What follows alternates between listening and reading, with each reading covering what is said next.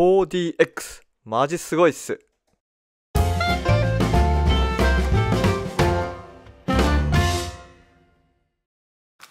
はいどうも。名言生活の森です。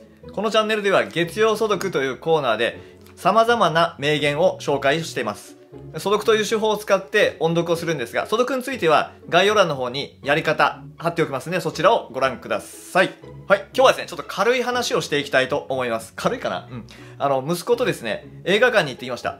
はい。呪術、呪術回戦というやつですね。これは2回目なんですけど、4DX ってやつがあるということで、あの、前 見に行った時は、あの、くしくもで私ちょっと寝てたので、全部あの見れなかったんですね。なので、リベンジということで、まあ、せっかくならこの 4DX っていうのをね、体験してみようと思いまして行ってきました。で、まあ、せっかく行くならですね、まあいい言葉でもないかなと思って、あの、そういうのもね、一応気をつけて見てたんですけど、まあありました。なので、それを一つ紹介をしていきたいと思います。もちろん素読をやってですね。はい、どうぞ。では劇中、五条先生の言葉です。いきます。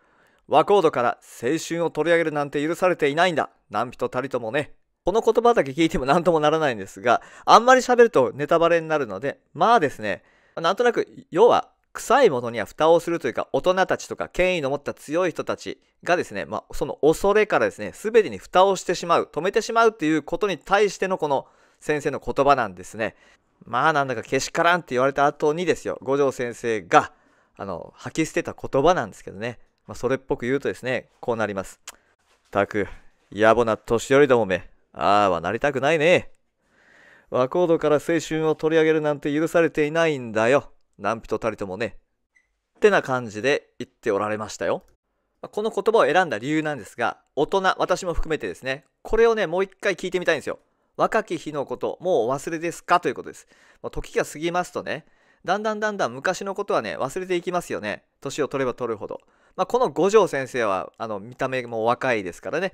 若者の気持ちがまだわかる大人ということになります。1年1日1時間同じ長さでも大人の感覚と若者子供の感覚はね絶対に違いますよね。それは皆さん理解していただけると思います。でですよ。大人の都合だけで大人の時の感覚だけで若者の人生の、まあ、宝とも言えるですね。1日1時間1年これを奪っていいんですか？ともう一度考えてみてほしいんですよね私も若者という年代からはね、随分遠ざかっているからですね、野暮な年寄りにならないように気をつけたいと思います。はい、ということで、あの、この呪術廻戦、もすっかり魅了されたわけですが、この言葉。私は、うん、さっきも言いましたけど、若者側ではない、まあ、明らかに大人、もうそれはもうかなりの、まあ、年いってるというか、もう年配にもう近いと思うんですよね。なので、この言葉からはですね、そうだそうだっていうよりかは、なんか言われた方に感じるんですね。あの、責任ある大人としてですね。はい。で、この五条先生が言う通りですよ。大人の都合でありとあらゆるものを止める。これはね、まあ、実は力を持ってるので簡単なことなんですね。で、その止める力は若者にはなくて止めれ止められる一方なんですね。でそれをして守られるものっていうのは何でしょうかね。まあ、悪い人ばかりじゃなくてもですね、あの普通の善良な人でもやっぱどうしてもね今だけ金だけ自分だけ立場だけそんなつもりはなくても結果的にそうなってるってことが結構あるんですよね、まあ、だからねもう一度自分の目で耳で心で考えてほしいなと思います。誰かが言ったからじゃなくてみんなが言ってるからじゃなくて先生が言ったからじゃなくて上司が言ったからじゃなくてあなたが目にしたものは何ですか？少なくとも子供たちや若者が犠牲になってるとしましょう。はい。で、それ、その犠牲を払って守れたものは何ですか？あなたの立場ですか？お金ですか？世間体ですか？本当にそれは子供たち、若者を犠牲にしていい代物なんでしょうか？私は違うと思ってるんですよね。かといって私もその止めてる側の大人の一人なんですよね。だから心苦しいんですけど少しだけ勇気を出して何か一つ若者子供たちのために自分ができることもう一回考えてほしいなと思ってこの言葉選びました。軽い話と言ったのになんか重くなりました。でねもう一回戻るんですけどこの呪術廻戦の 4DX いやほんと良かったですね。